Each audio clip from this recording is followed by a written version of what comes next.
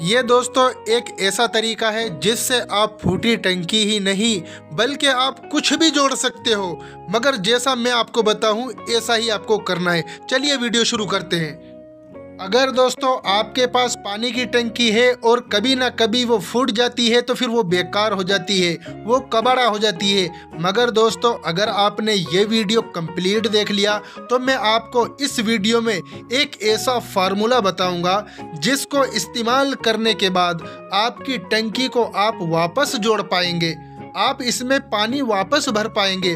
और दोस्तों, आपकी टंकी ऐसी जुड़ेगी कि यहाँ से फूटने का नाम भी नहीं लेगी। और दोस्तों, बहुत यूनिक ट्रिक है और बिल्कुल बहुत आसान है। मैं दो मिनट के अंदर इसको जोड़कर आपको दिखा दूँगा।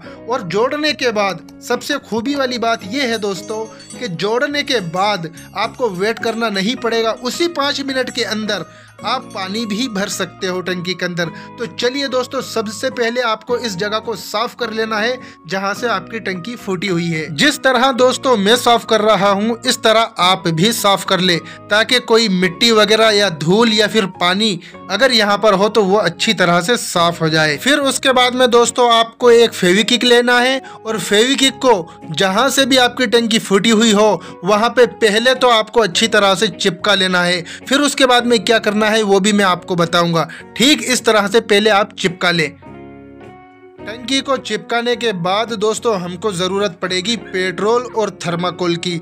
तो चलिए हम सबसे पहले पेट्रोल निकाल लेते हैं। उसके बाद में हम थर्माकोल के ऊपर इस पेट्रोल को इस तरह से डालेंगे ताकि हम एक ऐसा फेविकोल बना सके जो फेविकोल से भी दस गुना ज़्यादा मज़बूत हो। इसका एक फेविकोल बनेगा जो हम उस टंकी पर लगाएँगे। दोस्तों आपसे हाथ जोड़कर गुजारिश है आप वीडियो देख लेते हो, मगर सब्सक्राइब क्यों नहीं करते हो? दोस्तों सब्सक्राइब करने का कोई पैसा नहीं लगता आपका, एक रुपया भी नहीं लगता। दोस्तों, हमारे लिए मोटिवेट की बात है दोस्तों, हमको थोड़ा बहुत मोटिवेशन मिलता है। आप वीडियो को लाइक ज़रूर करें और मेरे चैनल को सब्सक्राइब ज़रूर करें, ताकि आने वाला वीडियो भी आप हमारा देख पाएँ। और दोस्तों, अगर आप सब्सक्राइब कर देते हो तो हमको थोड़ा बहुत मोटिवेशन मिल सके। बड़ी मेहनत के साथ दोस्तों वीडियो बनाते हैं तो चैनल को सब्सक्राइब ज़रूर ज़रूर करें। दोस्तों, आप देख सकते हैं थर्माकोल को हमने प्लेट के अंदर चौड़ा कर दिया है ताकि ये गाढ़ा हो सके और इसको एक मिनट के अंदर ही वापस हम खट्टा करेंगे। ये गाढ़ा हो चुका है। अब इसको वापस खट्टा करने के बाद हम उसी टंकी पर इसका लेप करेंगे ताकि टंकी बहुत ही मज़बूत हो जाए।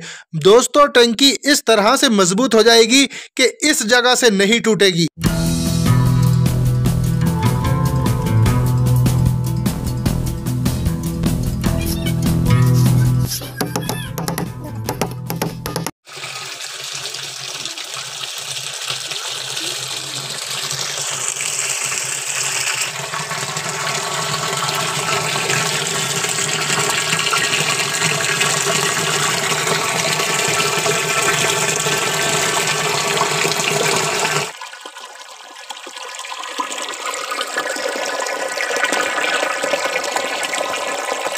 बस हटल डाल हटल